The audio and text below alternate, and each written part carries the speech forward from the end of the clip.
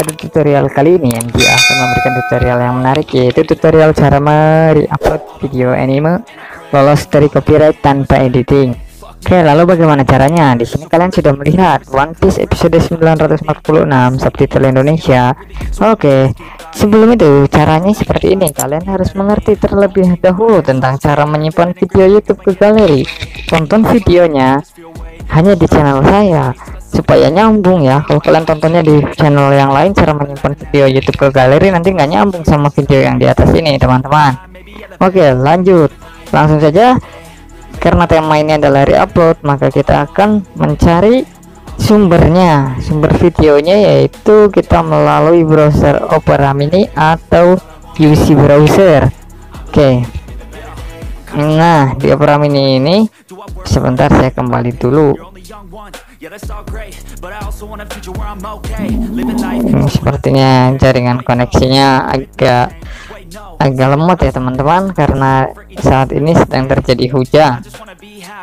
Hmm, oke. Okay. dari Opera ini kemudian kita ketikkan youtube.com kemudian kita akan dibawa masuk ke jendela YouTube. Dan kemudian di sini ada beberapa channel yang telah menguploadkan One Piece 946 dengan English sub dengan maksudnya English subtitle gitu. Atau yang bahasa Indonesia juga channel-channel yang lain banyak. Tetapi NGO sarankan kita cari dengan channel nama channelnya Bon Bon Uchiha.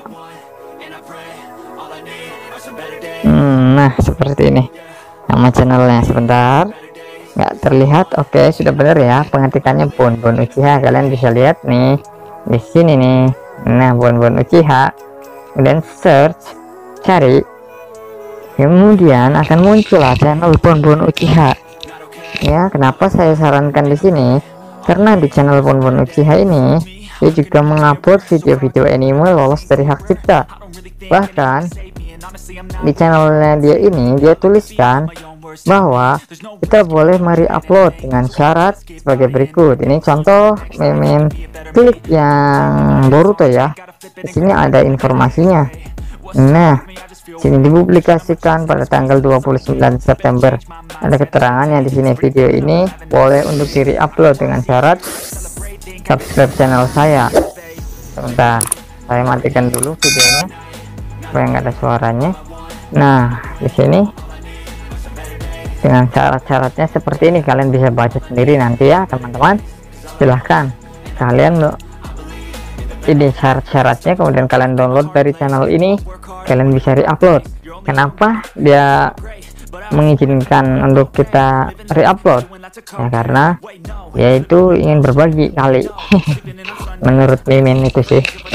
Dia ingin berbagi video yang telah dia edit. Dia ingin berbagi kita.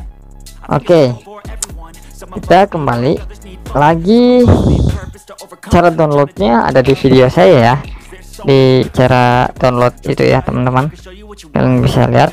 Oke kemudian di sini di pon-pon usia ini akan saya apa apa download yang ini nih yang One Piece yang 946 nah ini yang nonton saya ini satu kali baru satu kali. Ya channelnya masih sepi. Nah dia baru ditonton satu kali sama saya. Saya sudah menontonnya full kemudian saya sudah mendownloadnya. Dengan cara ya kita klik videonya kemudian kita tambahkan SS di depan ya teman-teman. Nah tambahkan SS di sini. Oke kemudian kita masuk dan kita akan diarahkan ke langsung diarahkan ke ID from net untuk mendownload. Lalu kita download. Setelah downloadannya selesai maka video ini akan tersimpan di galeri. Oke kita langsung back to ke galeri kita untuk mempersingkat waktu Oke. Nah, di sini di galeri kita akan masuknya ke download tentunya. Kita masuk ke download.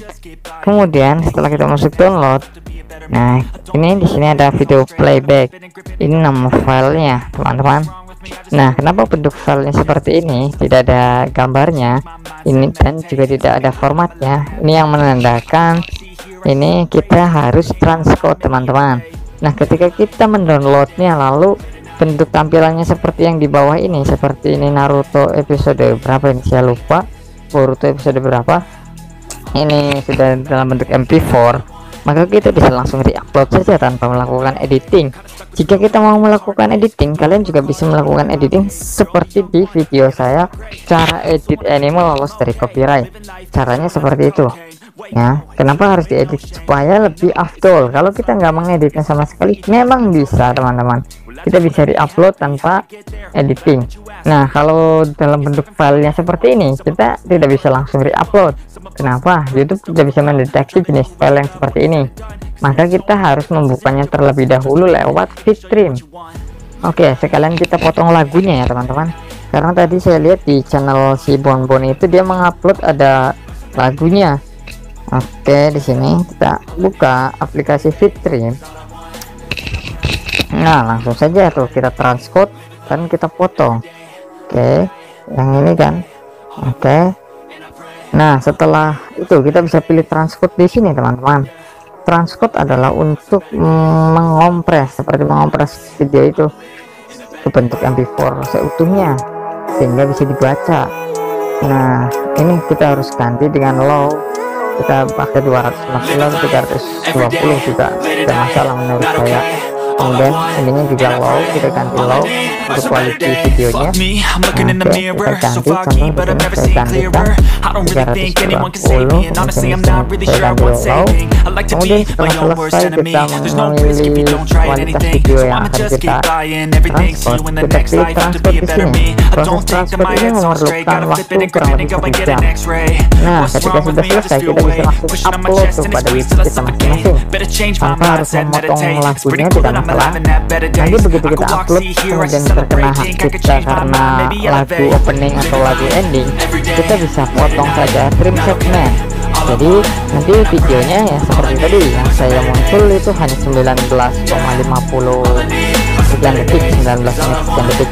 Ya itu tutorial ya teman-teman Oke, jika tutorial ini bermanfaat silahkan kalian bisa klik tombol subscribe untuk channel saya jangan lupa kalian. share ke teman-teman kalian. siapa tahu teman-teman kalian membutuhkan tutorial-tutorial yang lain. yang ada di channel saya. Terima kasih telah menyaksikan video ini